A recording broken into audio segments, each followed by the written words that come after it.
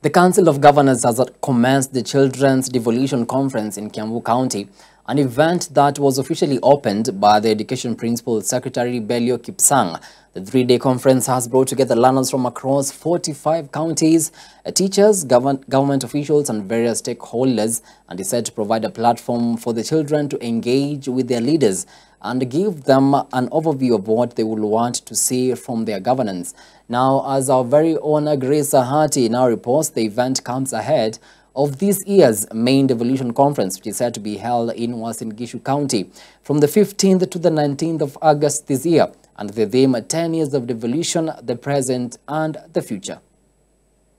Host Governor Hundreds of learners across 45 counties in Kenya have converged in Kiambu County for a three-day Children's Devolution Conference organized by the Council of Governors in partnership with M-Pesa Foundation, among other partners. Throughout the conference, the children will engage with the various leaders present, including Kiambu Governor Kimani Wamatangi, Mombasa Governor Abdul Swamad Nasir, and wajia Governor Ahmed Abdullahi, among others, to voice their concerns and expectations from their leaders. 20 minutes. Speaking while officially opening the event, Education Principal Secretary Belio Kipsang noted that the government has invested in education to cater for the welfare of learners across the country. Almost 30% of our budget, 628 billion shillings, is set aside to take care of yourselves as our children.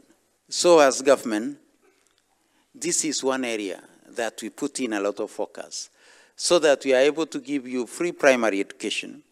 We are able to give you free day school education at the secondary school level. We are able to pay for your examination, both our children in public and private schools.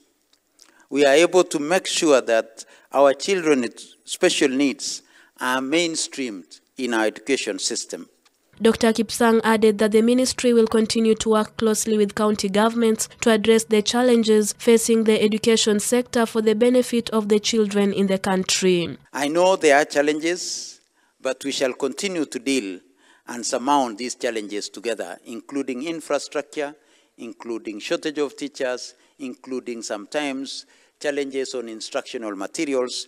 We shall continue to work together to ensure that we deal with these and be able to make that particular requirements of our teacher-student ratios to be reasonable enough so that our children can be able to benefit in what we are doing.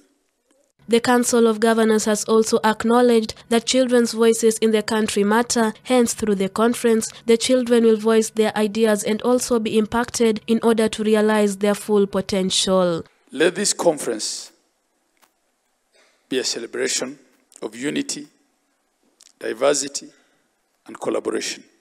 Together, we can build a future where every child's voice is heard. Every child in all these centers in Kiambu County will be provided with nutrition or nutritious uji or porridge in the morning, and every child in Kiambu County will have an egg every day for three days in a week.